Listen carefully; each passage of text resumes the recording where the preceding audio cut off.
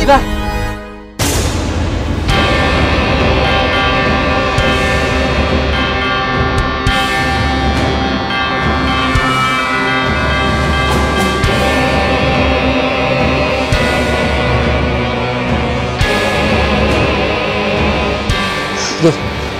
Gibran.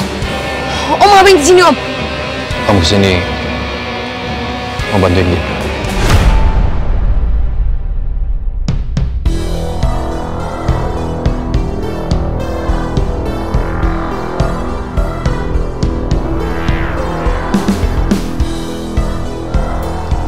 Lihat kondisi Gibran, lemah sekali.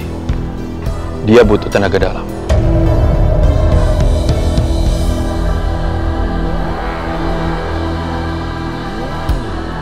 Kenapa kalian pada diam? Om ini mau bantu. Ayo, dudukin dia.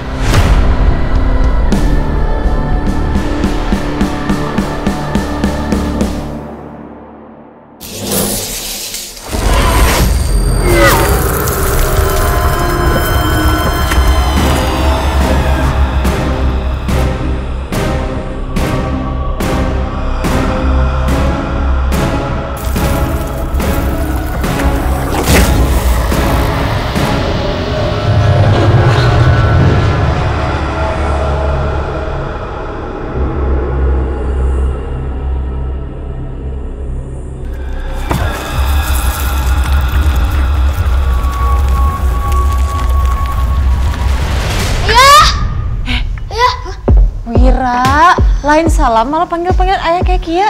Ayah naon sih? Saya duduk duduk duduk. Jadi gini mah, ada hal penting yang Wira teh harus kasih tahu ke ayah. Hal penting naon, Eta? Kakak-kakaknya Alif teh punya kelemahan. Aku teh pengen minta ayah buat sembuhin kelemahannya kakak-kakak Alif. Oh, jadi teh kakak-kakaknya Alif punya kelemahan. Terus Wira teh mau minta ayah untuk nyembuhin kelemahannya gitu. I- iya. Ya ampun, Mama teh bangga pisan sama Wira. Kok bisa mikir kayak kia? Mama teh yakin ayah pasti bakalan bantuin kakak-kakaknya Alif untuk nyembuhin kelemahan-kelemahannya mereka. Kita nanti bilang berdua ya sama ayah. Ya mah.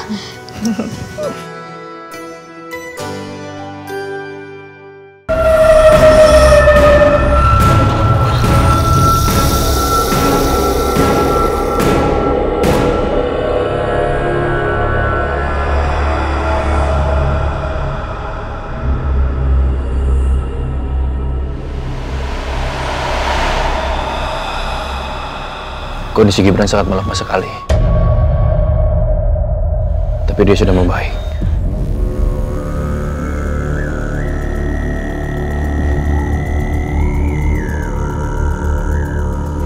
Makasih om. Ya, Eh, iya om makasih juga tapi kenapa om bisa ada di sini?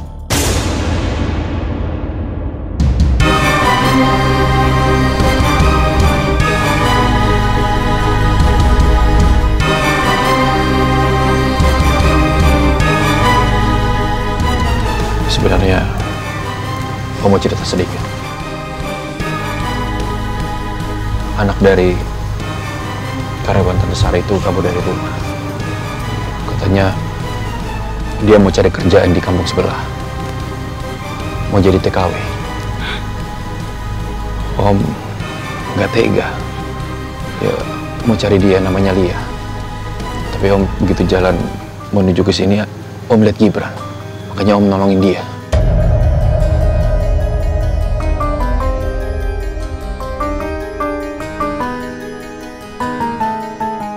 Kalian sendiri, kok bisa di sini?